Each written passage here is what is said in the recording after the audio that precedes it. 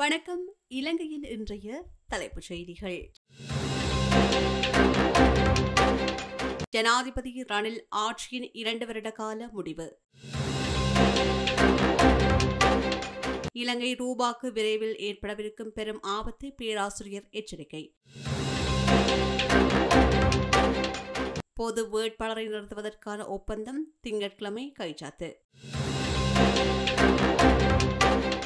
வைத்தியர் அர்ஜுனாவை சாடிய முன்னாள் நாடாளுமன்ற உறுப்பினர் சுரேஷ் பிரேமச்சந்திரன். பலஸ்தீனியர்களின் போராட்டத்திற்கு சற்றும் குறைந்ததல்ல ஈழத்தமிழரின் விடுதலை போராட்டம் சுகாஸ் தெரிவிப்பு. தமிழ் தேசிய உணர்வு சுமந்திரனிடமில்லை சாடுகின்றார் விக்னேஸ்வரன் எம்பி திடீரென்று தீப்பற்றியிருந்த கார் ஒருவர் வைத்தியசாலையில் அனுமதி. ப்ளூ ஓஷன் இலங்கையின் முன்னணி அடுக்குமாடி குடியிருப்புகள். Blue ocean group of companies leading the way to the future தற்போதைய ஜனாதிபதி ரணில் விக்ரமசிங்க நாடாளுமன்ற வாக்கெடுப்பு மூலம் ஜனாதிபதியாக தெரிவு செய்யப்பட்டு இரண்டு வருடங்கள் பூர்த்தியாகியுள்ளன. முன்னாள் ஜனாதிபதி கோட்டபாய ராஜபக்ஷ பதவி விலகியதை அடுத்து நிறைவேற்று ஜனாதிபதி பதவிக்கு வெற்றிடம் ஏற்பட்டதை அடுத்து அதற்கமைய ஜனாதிபதியை தெரிவு செய்வதற்கான நடவடிக்கைகள் மேற்கொள்ளப்பட்டன. இதன்படி நூற்று முப்பத்தி நான்கு வாக்குகளை பெற்று ரணில் விக்ரமசிங்கே ஜனாதிபதியாக தெரிவு செய்யப்பட்டார். தற்போது அரசியலமைப்பு ரீதியாக ஜனாதிபதி தேர்தலை நடத்துவதற்கான காலக்கெடு வந்துள்ள நிலையில் அடுத்த வாரம் ஜனாதிபதி தேர்தலுக்கான தேதியை தேர்தல்கள் ஆணைக்குழு அறிவிக்கவுள்ளது. எதிர்வரும் ஜனாதிபதி தேர்தலில் ஜனாதிபதி வேட்பாளராக களமிறங்கப் போவதாக ரணில் விக்ரமசிங்கே நேரடியாக அறிவிக்காவிட்டாலும் ஐக்கிய தேசிய கட்சியின் ஜனாதிபதி வேட்பாளர் ரணில் விக்ரமசிங்கவே என்று ஜனாதிபதி தரப்பு தகவல்கள் கூறுகின்றது.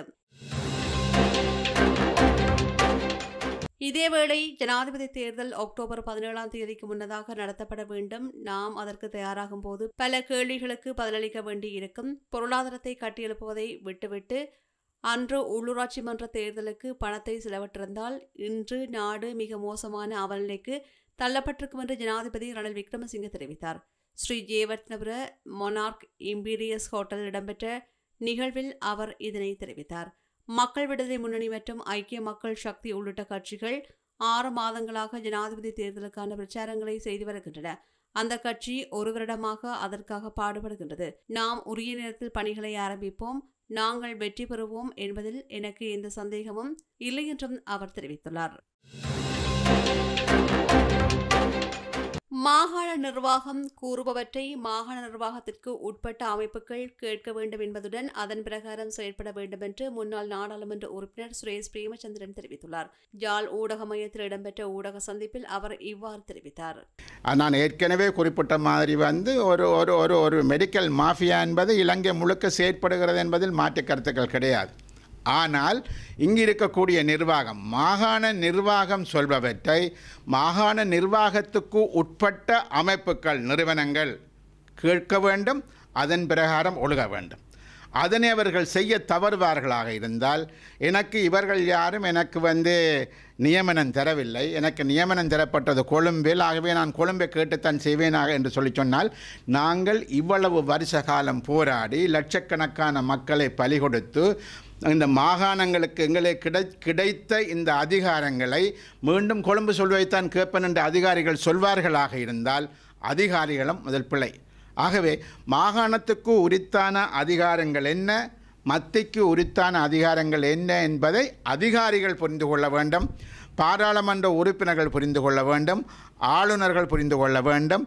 அதன் பிரகாரம் நடந்தால்தான் அந்த மாகாணத்துக்கு கட்டுப்பட்டு மாகாண நிர்வாகங்கள் நடக்கும் என்பதை நான் இந்த விட இந்த நிலையில் சொல்லிக்கொள்ள விரும்புகின்றேன்.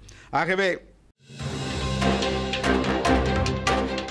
வாகன இறக்குமதிக்கு எப்போது இலங்கை அரசாங்கம் அனுமதி வழங்குகின்றதோ அப்போது நாட்டின் கையிருப்பில் உள்ள அமெரிக்க டாலர்கள் வெளியேறி செல்லும் என்று கொழும்பு பல்கலைக்கழக பேராசிரியர் அமிர்தலிங்கம் தெரிவித்துள்ளார்.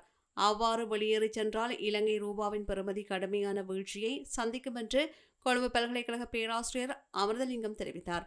தமிழ் ஊடகம் ஒன்றுக்கு வழங்கிய விசேட செவ்வியில் அவர் இதனை தெரிவித்தார். நாட்டில் ஏற்பட்ட கடுமையான பொருளாதார நெருக்கடியினை அடுத்து நாட்டில் பாரிய அரசியல் மாற்றங்கள் நிகழ்ந்துள்ளன. அதனைத் தொடர்ந்து சுற்றுலா பயணிகளின் வருகை புலம்பெயர்ந்து வாழுகின்ற இளைஞர்கள் அனுப்பிய பணம் என்று ஓரளவு பொருளாதாரத்தை வளமைக்கு கொண்டுவர பெரும் பங்காற்றியிருந்தன இவ்வாறு பேராசிரியர் அமிர்தலிங்கம் சுட்டிக்காட்டியுள்ளார். இந்நிலையில் வாகன இறக்குமதிக்கு எப்போது இலங்கை அரசாங்கம் அனுமதி வழங்குகின்றதோ அப்போது நாட்டின் கையிருப்பில் உள்ள அமெரிக்க டொலர்கள் வெளியேறிச் செல்லும் அபாயம் உள்ளதாக அவர் மேலும் சுட்டிக்காட்டினார். கிணிகத்தேடை தியகல பிரதேசத்தில் பாணந்துறையிலிருந்து நுவரலியா நோக்கி சென்ற கார் ஒன்று திடீரென்று தீப்பற்றி எரிந்துள்ளதாக கிணிகத்தேடை போலீசார் தெரிவித்தனர். இந்த தீ விபத்து நேற்று மாலை இடம்பெற்றிருக்கின்றது. தீப்பரவல் காரணமாக குறித்த வீதியினுடான போக்குவரத்து முற்பகல் பதினோரு மணி முதல் சுமார் ஒரு மணி நேரம் முற்றாக நிறுத்தப்பட்டிருந்ததாகவே கிணிகத்தேனை போலீசார் தெரிவித்தனர். இதனையடுத்து தீயை கட்டுப்படுத்த போலீசார் கடுமையாக முயற்சித்த போதிலும் கார் தீயில் முற்றாக இருந்து நாசமாகியுள்ளதாக தெரிவிக்கப்படுகின்றது. இதேவேளை இந்த தீ விபத்தின் போது காரில் ஐந்து பேர் பயணித்துள்ள நிலையில் தீப்பரவலை கட்டுப்படுத்த முயன்ற நபர் ஒருவர் காயமடைந்து கிணிகத்தேனி பிரதேச வைத்தியசாலையில் அனுமதிக்கப்பட்டுள்ளதாக போலீசார் தெரிவித்தனர். வரும் ஜனாதிபதி தேர்தலில் தமிழர் தரப்பிலிருந்து ஒரு பொது வேட்பாளரை நிறுத்துவதற்கான உடன்படிக்கை ஒன்று எதிர்வரும் திங்கட்கிழமை கைச்சாத்திடப்பட உள்ளது. தமிழ் சிவில் சமூகத்தினரும் தமிழ் தேசிய அரசியல் கட்சிகளுக்கும் இடையிலும் இந்த உடன்படிக்கை யாழ்ப்பாணத்தில் வைத்து கைச்சாத்திடப்பட உள்ளதாக தெரிவிக்கப்படுகின்றது. கடந்த காலத்தில் நடைபெற்ற ஜனாதிபதி தேர்தலில் தமிழ் மக்கள் எவருக்கும் வாக்களித்தும் எந்தவித பயனும் இல்லை என்று தமிழ் கட்சியினரும் சிவில் சமூகத்தினரும் பல்வேறு குற்றச்சாட்டுகளை முன்வைத்தனர். இந்நிலையில் இதற்கு பல்வேறு அமைப்புகள் பல்வேறு கட்சிகள் ஆதரவு வழங்கியுள்ள நிலையில் இதன் அடுத்த கட்டமாக தமிழ் தேசிய அரசியல் கட்சிகளும் சிவில் சமூகத்தினருக்கும் இடையில் முதலாவது ஒப்பந்தம் ஒன்று கைச்சாத்திடப்பட உள்ளது இவ்வாறு இரு தரப்பினர்களுக்கும் இடையில் பல்வேறு விடயங்களை உள்ளடக்கி ஒப்பந்தம் கைச்சாத்தாகியதை தொடர்ந்து தமிழ் பொது வேட்பாளர் தெரிவு உள்ளிட்ட ஏனைய அனைத்து விடயங்கள் தொடர்பிலும் அடுத்த கட்ட நடவடிக்கைகள் மிக தீவிரமாக முன்னெடுக்கப்பட உள்ளதாக தெரிவிக்கப்படுகின்றது. தமது தொழில் நியமனம் தொடர்பில் அரசியல்வாதிகளும் அதிகாரிகளும் நடவடிக்கை எடுக்க வேண்டும் என்று அம்பாறை மாவட்ட வேலையேற்ற பட்டதாரிகள் கோரிக்கை விடுத்துள்ளனர். அம்பாறை மாவட்ட வேலையேற்ற பட்டதாரிகள் நேற்று ஒன்று கூடி காரைதீவு சந்திக்கு அருகில் தமது பிள்ளைகளுடன் வந்து கவனஈர்ப்பு போராட்டத்தில் ஈடுபட்டனர். ஏனைய மாவட்டங்களைப் போன்று அம்பாறை மாவட்டத்தில் உள்ள வேலையேற்ற பட்டதாரிகளுக்கு நியமனங்களை வழங்க அரசாங்கம் முன்வர வேண்டும் என்றும் இதன்போது கோரிக்கை விடுக்கப்பட்டது. தமது தொழில் நியமனத்தை உறுதிப்படுத்தும் வகையில் பல்வேறு கோஷங்களும் எழுப்பப்பட்டது. குறித்த கவனிப்பு போராட்டமானது சிறிது தூரம் பேரணியாக சென்றமையும் குறிப்பிடத்தக்கது. வழங்கு வழங்கு வேலை வழங்கு பட்டதாரிகளுக்கு வேண்டும் பட்டதாரிகளுக்கு வேலை வழங்கு வழங்கு வேலை வழங்கு பட்டதாரிகளுக்கு வேலை வழங்கு வழங்கு வழங்கு வேலை வழங்கு வேலை வழங்கு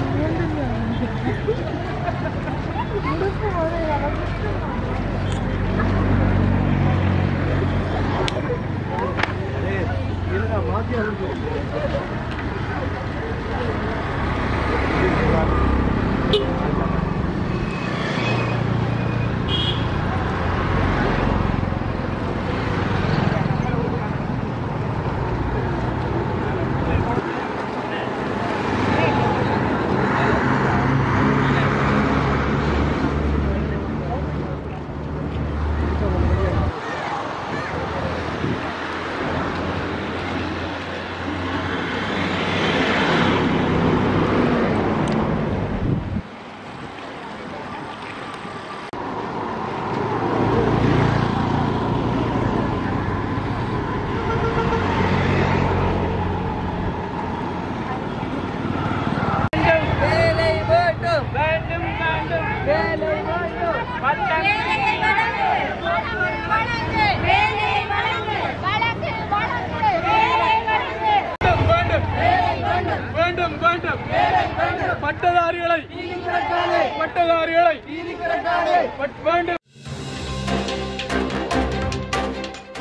சமூகத்திற்காக பணியாற்றும் போது அந்த மக்களுக்காக குரல் கொடுக்கும் போது இவ்வாறான சோதனைகள் வருவது வழக்கமாகும் என்று புத்தளம் மாவட்ட நாடாளுமன்ற உறுப்பினர் அலிசப்டி ரஹீம் தெரிவித்தார். நேற்று கைது செய்யப்பட்ட புத்தளம் மாவட்ட நாடாளுமன்ற உறுப்பினர் அலிசப்டி ரஹீம் பிணையில் விடுதலை செய்யப்பட்ட பின்னர் ஊடகங்களுக்கு கருத்து தெரிவிக்கையில் இவ்வாறு தெரிவித்தார். சமூக சேவைக்கு வரும்போது சமூகத்துக்காக பேசும்போது சமூகத்துக்காக குரல் கொடுக்கும்போது சமூகத்துக்காக உண்மையாக உள்ளத்தால் நாங்கள் அர்ப்பணிக்கும் போது இந்த மாதிரி சோதனைகள்லாம் வரும். அதெல்லாம் சமூகத்துக்காக நாங்கள் தியாகம் பண்ணி தான் ஆக வேண்டும். அந்த தியாகத்தை தான் இன்றைக்கி சரண்டர் ஆகி கோர்ட்ஸில் இருந்து விடுதலை எடுத்துகிட்டு போகிறோம் நாங்கள் சட்டத்தை மதிக்கணும். நாட்டில் உள்ள சட்டத்தை மதிக்கணும். நாட்டில் உள்ள பொதுமக்களுடைய கோரிக்கையும் நாங்கள் நிறைவேற்றணும். அப்போ பொதுமக்களுக்கு சேவை செய்யும் போது இப்படியான சம்பவங்கள் எதிர்நோக்க வேண்டியிருக்கும் அதுதான் எதிர்நோக்க முடியாதவங்க அரசியலுக்கு வர வேண்டிய அவசியம் இல்லை. இதெல்லாம் நாங்கள் எதிர்நோக்கி தான் மக்களுக்கு சேவையை செய்யணும். தேர்தல் காலங்களில் நாடாளுமன்ற உறுப்பினர்களால் முன்வைக்கப்படுகின்ற குற்றச்சாட்டுகள் நிறைவேற்றப்பட வேண்டும் என்று கோரியே கையெழுத்து பெறுகின்ற வேலை திட்டம் நேற்று காலை மன்னாரில் ஆரம்பிக்கப்பட்டது. தேசிய மீனவ ஒத்துழைப்பு இயக்கத்தின் ஏற்பாட்டில் மன்னார் பிரதான பஸ் நிலையத்திற்கு முன்பாக மக்களிடம் குறித்த கையெழுத்துக்கள் பெறப்பட்டன. தேர்தல் காலங்களில் தென்மராட்சி உறுப்பினர்களால் முன்வைக்கப்படுகின்ற கோரிக்கைகளை வழக்கமாக நிறைவேற்றப்படுவது இல்லை. தேர்தல் காலங்களில் நாடாளுமன்ற உறுப்பினர்களால் முன்வைக்கப்படுகின்ற கோரிக்கைகள் வழக்கமாக நிறைவேற்றப்படுவதில்லை. அவ்வாறான கோரிக்கைகளை நிறைவேற்றுவதற்கு சட்டமூலம் ஒன்று நாடாளுமன்றில் இயற்றப்பட வேண்டும். இவ்வாறு போய் வாக்குறுதிகள் வழங்கப்படுகின்றமையால் பொதுமக்கள் ஏமாற்றப்படுகின்றார்கள் என்பது தொடர்பாக அனைத்து மாவட்டங்களிலும் முன்னெடுக்கப்படுகின்ற குறித்த கையெழுத்து போராட்டம் நேற்று மன்னரில் முன்னெடுக்கப்பட்டமை குறிப்பிடத்தக்கது. குறைந்ததல்ல தையட்டி விகாரைக்கு எதிரான போராட்டம் என்று தமிழ் தேசிய மக்கள் முன்னணியின் ஊடக பேச்சாளர் கனகரட்னம் சுகாஸ் தெரிவித்துள்ளார். ஒரு வருடத்தை கடந்த இரண்டாவது ஆண்டில் சட்டவிரோதமாக அமைக்கப்பட்ட தையட்டி விகாரைக்கு எதிராக போராட்டம் முன்னெடுக்கப்பட்டு வருகின்றது. இந்த போராட்டத்தில் சர்வதேசத்திற்கும் இலங்கை அரசாங்கத்திற்கும் கூறிக்கொள்வது என்னவென்றால் சட்டவிரோதமாக அமைக்கப்பட்ட தையட்டி விகாரை அகற்றப்பட வேண்டும் என்று அவர் மேலும் தெரிவித்துள்ளார். ஒரு வருடத்தை கடந்து இரண்டாவது ஆண்டிலே இந்த போராட்டம் நகர்ந்து கொண்டிருக்கிறது. இந்த போராட்டம் சர்வதேசத்திற்கும் இனப்படுகொலை இலங்கை அரசிற்கும் சொல்லி நிற்கின்ற செய்தி என்னவென்றால் தையெட்டியிலே சட்டவிரோத விகாரை அகற்றப்பட்டு தமிழ் மக்களுக்கு சொந்தமான காணி அவர்களிடம் வழங்கப்படுகின்ற வரை இந்த போராட்டம் ஓயப்போவது கிடையாது. பலஸ்தீனத்திலே அந்த மக்கள் தொடர்ந்து போராடி கொண்டிருக்கின்ற காரணத்தினால் அந்த நாடு தனிநாடு என்கின்ற அந்தஸ்தை நோக்கி நகர்ந்து கொண்டிருக்கிறது. அந்த போராட்டத்திற்கு சற்றும் குறைவில்லாதது தமிழ் மக்களினுடைய போராட்டம். ஒரு லட்சத்தி நாற்பத்தாறாயிரத்தி எழுநூறு உயிர்களை ஆகுதியாக்கி ஐம்பதாயிரத்துக்கும் அதிகமான எங்களுடைய அண்ணாமாரையும் அக்காமாரையும் இந்த மண்ணுக்காக விதைத்து நடைபெறுகின்ற ஒரு புனிதமான விடுதலை போராட்டம் எங்களுடைய போராட்டம். எங்களுடைய போராட்டத்தினுடைய குரல்களை சர்வதேசம் மதித்து காலதாமதமின்றி இலங்கையிலே நடந்த நடந்து கொண்டிருக்கின்ற இனப்படுகொலைக்கு ஒரு சர்வதேச விசாரணையை உடனடியாக ஆரம்பிக்க வேண்டும் என்று நாங்கள் இந்த சந்தர்ப்பத்திலே மீண்டும் ஒரு முறை உரிமை குரல் எழுப்பி நிற்கின்றோம். இலங்கை தமிழரசு கட்சியில் இருக்கின்ற என்னுடைய அருமை மாணவன் எம் ஏ சுமந்திரன் பலவிதமான தகமைகளை கொண்டிருந்தாலும் தமிழ் தேசிய உணர்வு அவருக்கு இல்லை என்று தமிழ் மக்கள் கூட்டணி கட்சியின் பொதுச் செயலாளர் நாயகம் நாடாளுமன்ற உறுப்பினர் சி வி விக்னேஸ்வரன் தெரிவித்தார். யாழில் உள்ள தனது அலுவலகத்தில் ஊடக சந்திப்பை நடத்தி அவர் இவ்வாறு தெரிவித்தார். திருகோணமலை தம்பலகாமம் போலீஸ் பிரிவுக்குட்பட்ட கூட்டாம்புலி எனும் பகுதியில் எரிந்த நிலையில் சடலம் ஒன்று நேற்று மாலை மீட்கப்பட்டது. இவ்வாறு மீட்கப்பட்ட சடலம் திருகோணமலை அன்பு வழிபுறத்தைச் சேர்ந்த ஐம்பத்தி மூன்று வயது நபரினுடையது என்று தம்பலகாமம் போலீசார் தெரிவித்தனர். விவசாயி ஒருவர் தனது வயலுக்கு சென்ற நிலையில் எரிந்த நிலையில் சடலம் ஒன்று காணப்பட்டதை அடுத்து தம்பலகாமம் போலீசாருக்கு தெரிவித்தனர். இதனை அடுத்து அந்த இடத்திற்கு வந்த தம்பலகாமம் போலீசார் சடலத்தை மீட்டனர். குறித்த சம்பவ இடத்திற்கு கந்தலாய் நீதிமன்ற பதில் நீதவான் விஜயம் செய்து சடலத்தை பார்வையிட்டதுடன் சட்ட வைத்திய அதிகாரியும் பார்வையிட்டனர். மாத்தரை சிறைச்சாலை கைதியொருவர் மற்றொரு கைதியின் முகத்தை பிளேட்டால் வெட்டி காயப்படுத்தியுள்ளார். இந்த சம்பவம் நேற்று மாலை இடம்பெற்றுள்ளது. காயமடைந்த கைதி உடனடியாக வைத்தியசாலையில் அனுமதிக்கப்பட்டுள்ளதாக தெரிவிக்கப்படுகின்றது. கவனிக்கப்படாத வட்டார பிரச்சனைகள் தீர்க்கப்படாத ஊர் பிரச்சனைகள் வெளிக்கொண்டு வரப்படாத திறமைகள் இவை எல்லாவற்றையும் ஒரே தளத்தின் கீழ் வெளிக்கொண்டு வர உங்கள் ஊருக்கே வருகிறது சமூக வனம். உங்கள் பிரதேசத்தில் உங்களுடன் இணைந்து பயணிக்க உள்ள சமூக வலத்தில் நீங்களும் இணைந்து கொண்டு ஒருமித்த சமூகமாய் கரமுயர்த்திடவாறு. சமூகத்தில் நாம் சமூகத்திற்காய் நாம் ஒன்றே செய் நன்றே செய் அதையும் இன்றே செய். இத்துடன் இலங்கையின் இன்றைய தலைப்புச் செய்திகள் நிறைவு பெறுகின்றன. தொடர்ந்தும் செய்திகளை உடனுக்குடன் அறிந்து கொள்ள சமூகம் மீடியா டாட் காம் எனும் எமது இணையதளத்துடன் இணைந்திருங்கள். இது போன்ற செய்திகளை தெரிந்து கொள்ள சமூகம் நியூஸ் சேனலை சப்ஸ்கிரைப் செய்து அருகில் உள்ள பெல் பட்டனை கிளிக் செய்யுங்கள். மேலும் இது போன்ற செய்திகளை உடனுக்குடன் தெரிந்து கொள்ள சமூக மீடியா டாட் காம் என்ற இணையதளத்தின் வாயிலாகவும் எங்களுடன் இணைந்திருங்கள்.